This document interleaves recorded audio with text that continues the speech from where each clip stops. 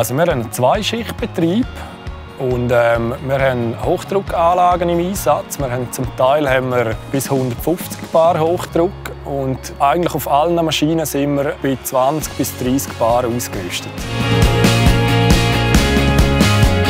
Sie soll möglichst wartungsarm sein und die Filterlebzeit sollte so lange wie möglich sein.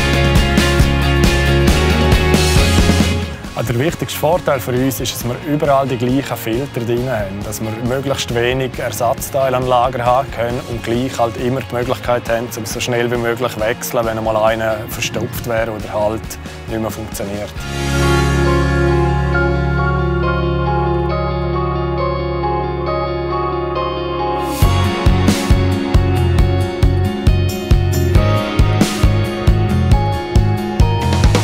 Ja, wir würden den sehr weiterempfehlen. Wir sind eigentlich bis jetzt wirklich zufrieden mit diesen Anlagen. Wir haben, wirklich, eben, wir haben noch keine grossen Störungen gehabt. Wir, haben, ja, wir arbeiten jetzt äh, relativ lange mit denen und haben wirklich eigentlich nur gute Erfahrungen gemacht.